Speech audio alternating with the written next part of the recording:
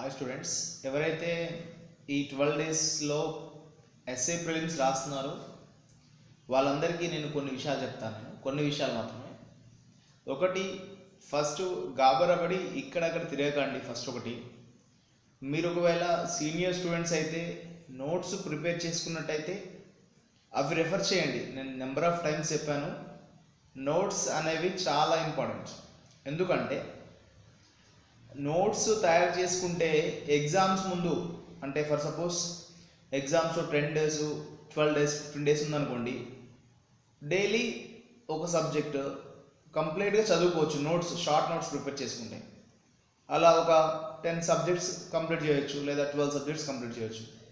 So సరే notes prepare చేయకపోతే ఏం చేయమంటారు సార్ మమ్మల్ని అంటే మీరేం చేయాల్సిన అవసరం లేదు. సో మీరు ఇంతకుముందు ఏదైతే చదివారో వీలైతే అందులో నుండి కొంచెం మీరు హార్డ్ అని ఫీల్ అవుతారో లేదా మీకు గుర్తులేవనుకుంటున్నారో టాపిక్స్ అవి ప్రిపేర్ అవ్వండి. ఇక కొత్త పిల్లలు వన్ మంత్ నుండి నేను ఎవరైతే ప్రిపేర్ అవుతున్నారో అంటే one month fifteen days back ఇది ఇది అడ్వైస్ మాత్రమే. విషయం ఏంటంటే ఐటెక్ విజయ రాసిన చదువుకోండి. అది ఫుల్గా కవర్ చేస్తుందని మాత్రం నేను చెప్పను బట్ మీ లక్ దానిలో నేను క్వశ్చన్స్ ఇస్తే పాస్ అయిపోతాను. కానీ ఛాన్సెస్ ఉన్నాయి. ఫిఫ్టీ ఫిఫ్టీ పర్సెంట్ ఛాన్స్ ఉన్నాయి పాస్ అవ్వడానికి ఒకటి నేను జూనియర్ పిల్లలు కానీ సీనియర్ పిల్లలు కానీ చెప్పేంటంటే ఇక్కడ అక్కడ తిరగకండి ఓకేనా? అక్కడి లాస్ట్ ఇయర్ ప్రిలిమ్స్ క్వాలిఫైర్ దగ్గరికి వెళ్ళేసి అన్న నేను ఇలా రాస్తున్నాను ఎగ్జామ్ లేకపోతే అక్క నేను ఎగ్జామ్ రాస్తున్నాను నేను ఈసారి పాస్ అవుతాను? అంటే అసలు పాస్ అవుతాను నమ్మకం వాళ్ళకే ఉండదు. ఎందుకంటే యూపీఎస్సీ ప్యాటర్న్లో క్వశ్చన్స్ ఇస్తున్నాడు.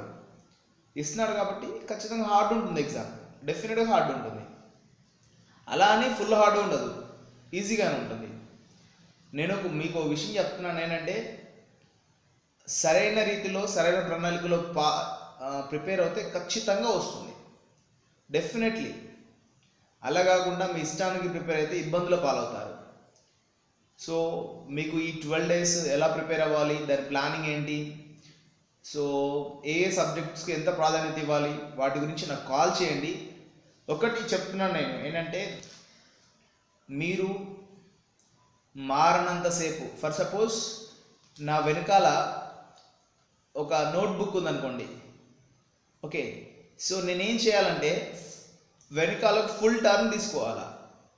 ఫుల్ ఫ్లెజ్ కాదు నాకు అదేం నోట్ బుక్స్ తెలుసుకోవడానికి లేదా దాన్ని తీసుకోవడానికి. అలా కాకుండా కొంచెం తిరిగి కొంచెం తిరిగి కొంచెం తిరిగి ఉన్నాం అనుకోండి అది కంప్లీట్గా నేను తీసుకోలేను. ఓకేనా? సో నేను ఏం చెప్దాం అనుకుంటున్నా అంటే దీని ద్వారా మీరు సినిమాలు ఫ్రెండ్స్ మూవీస్ ఫోన్స్ వాటన్నిటి నుండి కొంచెమే తిరిగారు చాలామంది పిల్లలు.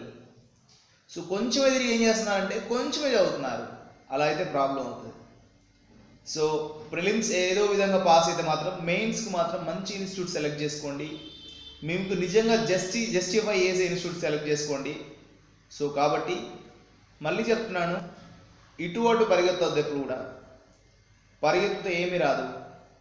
అర్థమైందా? సో జాగ్రత్తగా ప్రిపేర్ అవ్వండి డెఫినెట్గా మీరు పాస్ అవుతారు. ఏదన్నా గైడెన్స్ కోసం నాకు కాంటాక్ట్ చేయండి.